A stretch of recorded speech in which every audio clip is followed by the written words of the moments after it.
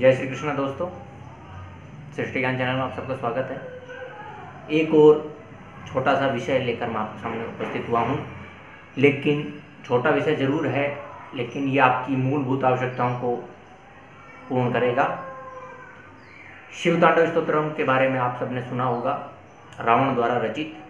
रावण ने इसकी रचना की थी, धन प्राप्ति के लिए, ऐश्वर्य प्राप्ति के लिए, सुख सौभाग्य की प्राप्ति के लिए। तो उसकी जितनी लक्ष्मी तो अभी फ़िलहाल कोई प्राप्त नहीं कर सकता, लेकिन लक्ष्मी प्राप्त अवश्य कर सकता है, सुख सौभाग्य प्राप्त अवश्य कर सकता है, शिव की कृपा प्राप्त हो सकती है। तो शिव तांडव स्त्रोत्रम का पाठ कब करें? कि उसका फल मिले। रावण कब करता था? रावण, इस स्तोत्र का पाठ, सारी पूजा पाठ, जो भी वो दिन दैनिक थी सुबह से लेकर शाम तक की उसके बाद में रात्रि के समय करता था। जब सब पूजा पाठ हो जाती थी उसके बाद में। सबसे लास्ट यही होता था।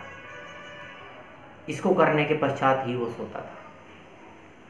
लेकिन अधिकतर लोग जो हैं, वो दिन के समय भी इसका पाठ करते हैं तो उसका फल प्राप्त नहीं होता, अपितु दोष लगता है।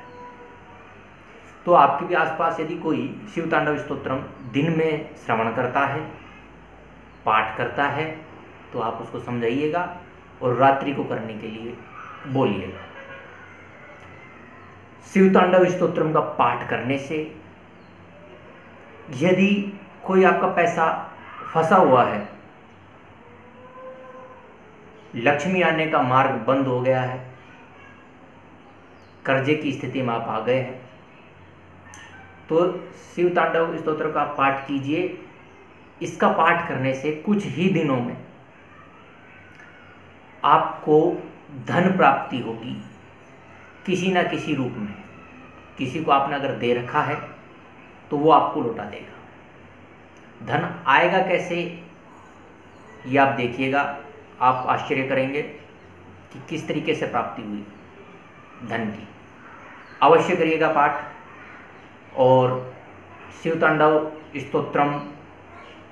आप कपूर जलाकर रात्रि को कर सकते हैं। नियम सिर्फ़ यही है, रात्रि में आप कर सकते हैं। सूर्य, सूर्यास्त के बाद में, आठ बजे के बाद में आप आराम से कर सकते हैं।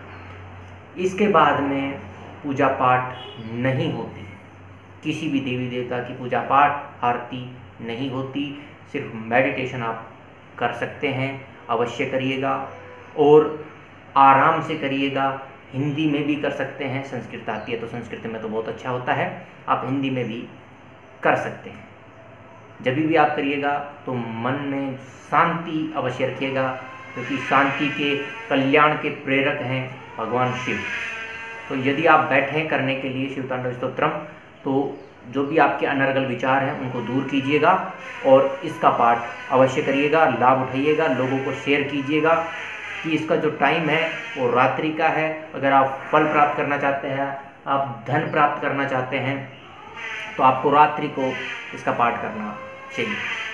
सिर्फ़ कपूर जला सकते हैं, अगर नहीं हो तो कोई बात नहीं, आप आसन बिछाकर, पूर्व दिशा में मुँह कर कर पढ़ सकते हैं, आपको तुरंत लाभ मिलना शुरू हो जाएगा। सावन का महीना चल रहा है तो आप भी इसका फ़ायदा उठाइए, लोगों को शेयर कीजिए ज़्यादा से ज़्यादा, और पसंद आए तो लाइक और सब्सक्राइब कीजिए चैनल को। फिर मिलेंगे नेक्स्ट वीडियो में नई अद्भुत जानकारी लेकर। तब तक के लिए जय श्री कृष्णा, श्री राधे।